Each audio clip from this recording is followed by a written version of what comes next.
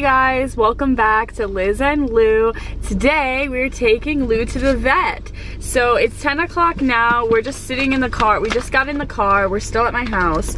Um, and I just wanted to start the video here. Just show you guys a couple things I do for Lou to get him ready for the vet. So first of all, we exercised him. I took him outside and we played fetch and I made sure he went to the bathroom. So if he gets a little excited in there, he doesn't go. Another great thing to lure him onto the scale so they can weigh him. I have these treats. I've had these in a video before. They're Merrick's Power Bites. Um, they're all natural real chicken recipe with omega fatty acids and added minerals for your dog. So he loves them and they're just like so rich in um, smell. Like the smell is so overwhelming. I feel like that's why like they're they're like so potent um he can smell them and he just gets lured like see so i think i'm gonna lure him onto the um onto the scale with that because sometimes I have to like pull him on. He's like a little bit nervous at the vet.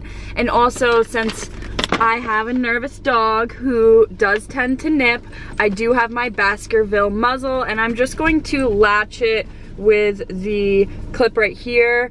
Um, it also has a little loop to connect to the collar, but I don't think we'll need that today.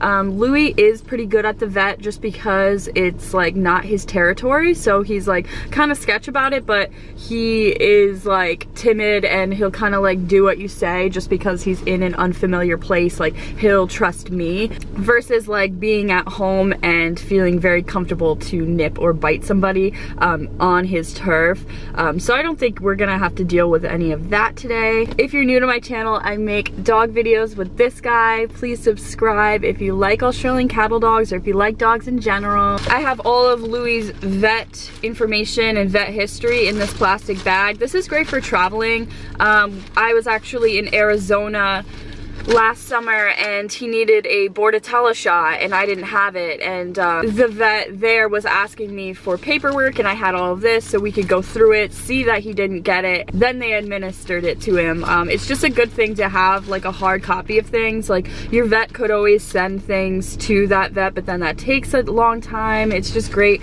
to have it right there, um, a hard copy and this vet has all of his info but like I, I don't know, I like to bring it anyway. So yeah, we have some treats. We have his muzzle in case um, he gets a little nippy. so today for Louis, I love how he's just chilling back there. So today for Louis, he just needs his heartworm tick panel test, which is basically a test that tests for like four different things. I know two of them. Um, one is for Lyme's disease, one is for heartworms, and I think there's two other things they test for.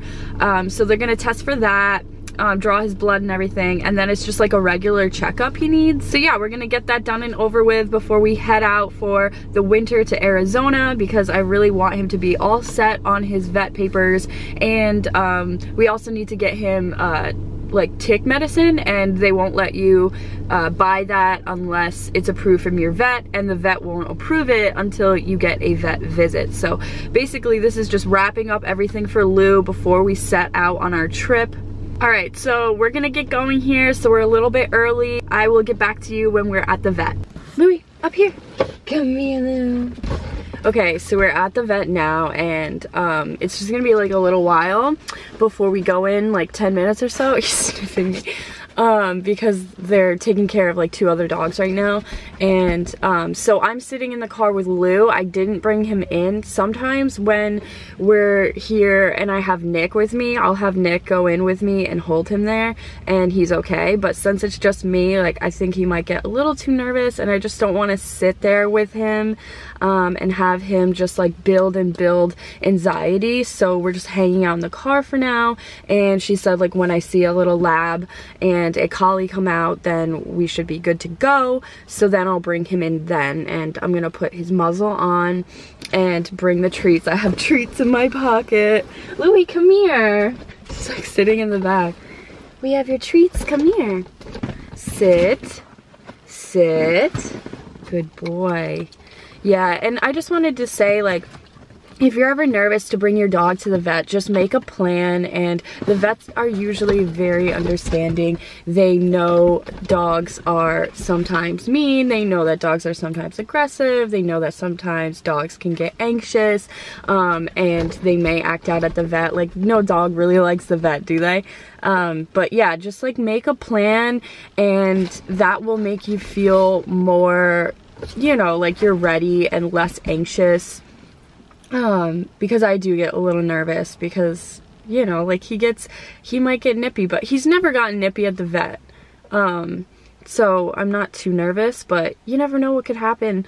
Um, they could touch him the wrong way and he goes and nips, you know, so I'm gonna be safe and I'm gonna have my muzzle on him and that makes me feel better. So whatever makes you feel um, safe, no trouble is going to happen, then you should do it. If we are sitting in there, he'd be crying and whining and very scared and we're just sitting in here. I just put his muzzle on.